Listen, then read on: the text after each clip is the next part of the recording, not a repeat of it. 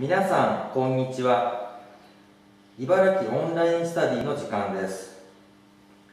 この動画は小学校6年生の国語。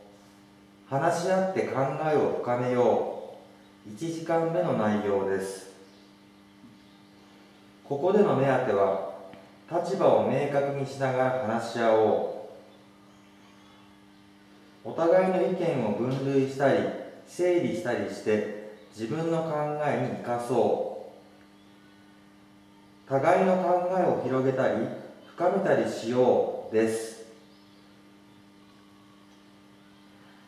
次の話し合いの例文1を読んで問題点や改善点を見つけよう。標識や看板には英語以外の外国語の説明も示した方が良いと思います。理由はさまざまな国の人たちが生活しているからです。私は反対です。標識や看板にいろいろな言葉が書いてあると見づらくなるからです。英語だけの説明だと英語以外の言葉で生活している外国の人は理解できないと思います。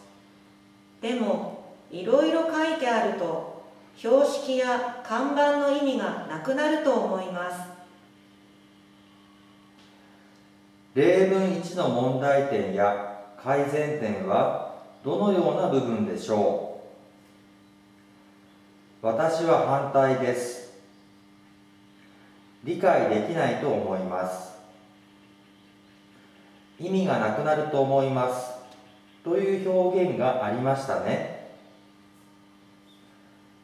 お互いに反対意見をぶつけ合うようなやり取りになってしまいました。どのように改善すればよいでしょ